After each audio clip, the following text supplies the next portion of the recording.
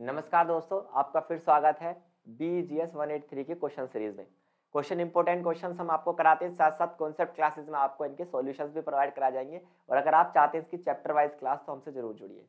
तो देखिए, पहले हमने जो क्वेश्चन यहाँ पर डिस्कस किया था question paper that was December 2022 आज जो हम डिस्कस कर रहे हैं इट इज़ दिसंबर 2021 का पेपर बहुत छोटा पेपर ये होता है कोड आपने मैच कर ही लिया होगा। कितना दो घंटे का आपका मात्र पेपर होने वाला है, पचास नंबर का आपका पेपर होगा। छोटा पेपर है, लेकिन सारे क्वेश्चन क्या होते हैं? कंपल्सरी होते हैं। इसमें आपको एक बात ये याद रखनी है कि कहीं ना कहीं इसमें पहला क्वेश्चन दूसरा क्वेश्चन तीसरा क्वेश्चन जो होंगे, ये टेक्निकल हो सकते हैं तो उनको पढ़ना आना चाहिए हमें। अगर हमें ये समझ में आ जाएगा कि हमें इसमें करना क्या है है ना? क्वेश्चन को पढ़ के अगर ये समझ में आ जाए कि इसका आंसर किस वे में देना है तो आप इस पेपर को बहुत बेहतर से अटैम्प्ट कर पाएँगे। जैसे, अब देखिए, शुरू में क्या करना है? कोई तीन क्वेश्चन करने है। ना? इतने सारे में से कितने करने केवल? पंद्रह पंद्रह नंबर के कितने क्वेश्चन करने केवल? तीन करने सॉरी पाँच पाँच नंबर के कितने क्वेश्चन करने आपको यहाँ पर केवल? तीन क्वेश्चन करने पंद्रह नंबर आ जाएँगे। अब इतना बड़ा ये क्वेश्चन है, इसे देखते हम क्या हो जाएँगे? डर जाएँगे, लेकिन इसमें वास्तव में करना क्या है? इसको पढ़ने की, समझने की कोशिश करें आप। क्या करना है? वाट आर होमोनिम्स होमोनिम्स क्या होते हैं? जिन शब्दों के मीनिंग्स क्या होते हैं? एक जैसे होते हैं। होमो मतलब एक जैसा निम्स मतलब मीनिंग जिनका मीनिंग एक जैसा होता है these words are called homonyms homonyms के क्या करने हैं आपको दोस्तों? एग्जाम्पल्स दे देने हैं, बस, है ना? और ये भी आपको बताना है कि होमोनिम्स का जो यूज़ हम करते हैं, है ना? तो कैसे ये प्रॉब्लम क्रिएट कर सकता है? एक सेकंड लैंग्वेज लर्नर के रूप में इंग्लिश सीखते हैं जब हम। जब हम इंग्लिश सीख रहे होते हैं तो हमारे सामने बहुत सी रुकावटें पैदा करता है। कौन कौन एक तो होमोफोन्स जिनके साउंड सेम होते हैं होमोनिम्स जिनके मीनिंग सेम होते हैं होमोग्राफ जो एक जैसे लिखे जाते हैं। दीज आर प्रोबेबल्स रुकावटें हैं हमारी इंग्लिश भाषा को सीखने में। तो जो जो रुकावटें आती हैं उनमें से एक होमोनिम्स भी है ये आपको कराए जाएँगे कॉन्सेप्ट क्लास में। आपको डरने की इसमें कोई बात ही नहीं है। होमोनिम्स आपको ज़रूर हम डिस्कस करेंगे। एक दो एग्ज़ाम्पल यहाँ पर मैं देने की कोशिश भी करूँगा। जैसे फॉर एग्ज़ाम्पल जैसे फॉर एग्ज़ाम्पल आपने सुना होगा आ, कोई ऐसा वर्ड जिसके दो वर्ड्स के मीनिंग एक जैसे हों है ना? जैसे फॉर एग्ज़ाम्पल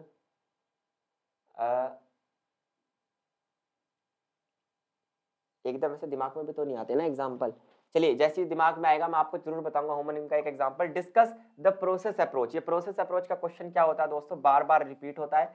मोस्ट इंपोर्टेंट का क्वेश्चन है ये कि राइटिंग को लेकर प्रोसेस अप्रोच क्या होती है। कोई भी लेख हम लिख रहे हैं तो उसमें प्रोसेस अप्रोच क्या होती है?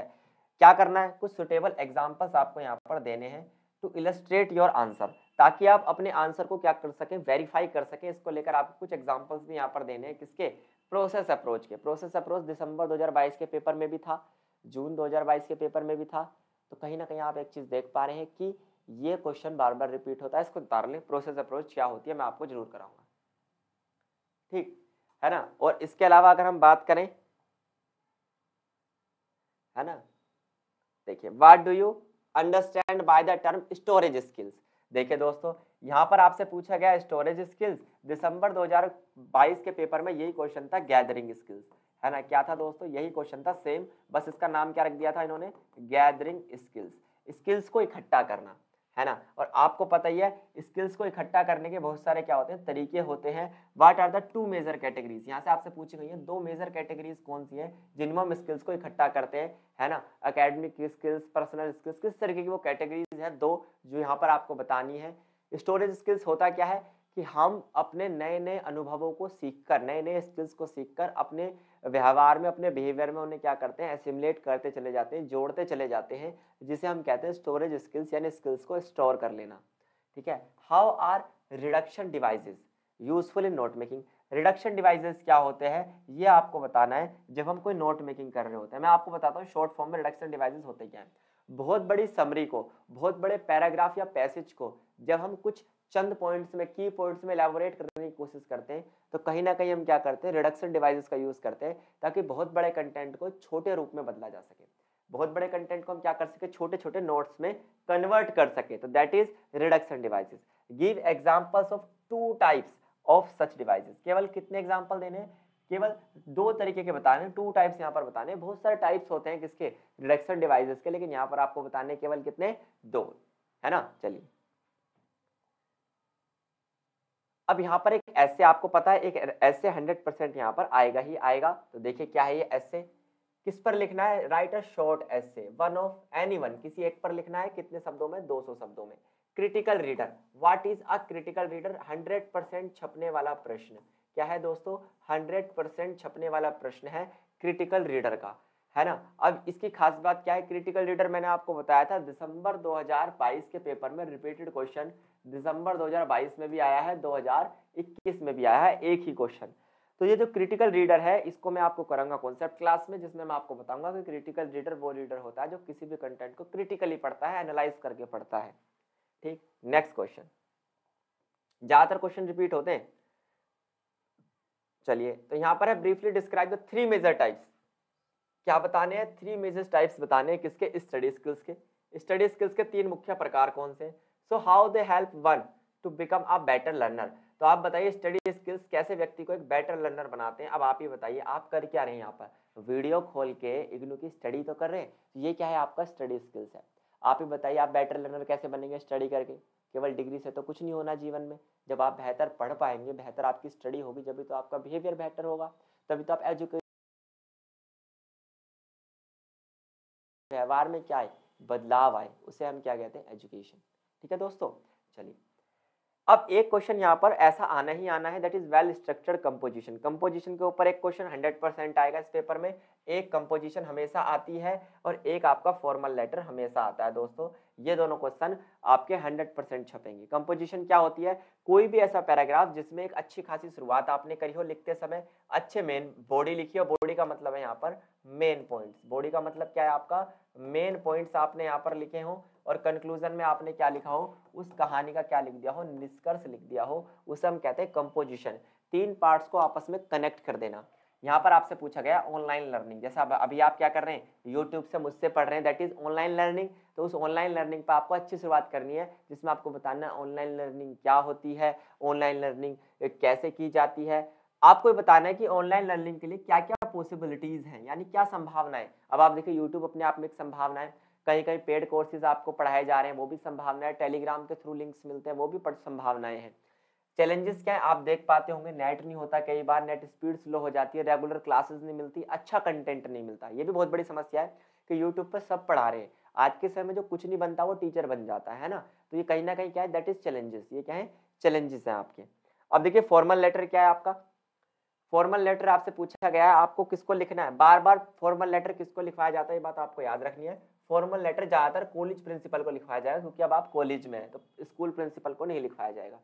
आपको क्या करनी है? लीव लेनी है। टेन डेज़ की क्या लेनी है? लीव लेनी है। 2022 में यही लेटर किसको लिखना था? क्योंकि आपके कॉलेज में कंप्यूटर नहीं थे।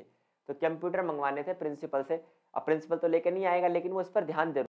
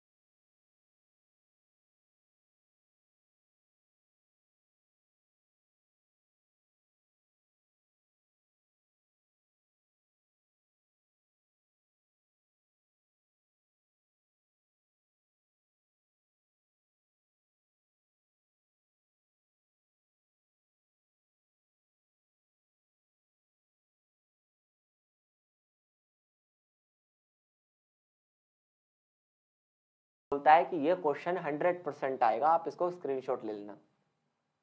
और हमेशा आपसे पूछा जाएगा सेम पैटर्न का क्वेश्चन है कि एक टाइटल दीजिए इस पैसेज को। ये जो पैसेज आपके सामने है, इसको क्या दीजिए? टाइटल दीजिए और एक क्या लेनी है, इसकी समरी लेनी है। इस पूरे पैसेज की क्या लिखनी है, आपको समरी लिखनी है। तो एक क्लास में लूँगा B G S one eight three की, जिसमें मैं आपको दो पैसेज कराऊँगा, ठीक है? और एक क्लास में फॉर्मल लेटर कराऊँगा, एक मैं आपको ऐसे राइटिंग कराऊँगा, ठीक है? तो उम्मीद है आपको पसंद आई होगी क्लास। लाइक ज़रूर करें और अपना बेहतर कमेंट मुझे दें ताकि मैं मोटिवेट रहूँ आपको इसी तरीके से बेहतर लर्निंग प्रोवाइड करने के लिए। धन्यवाद दोस्तों।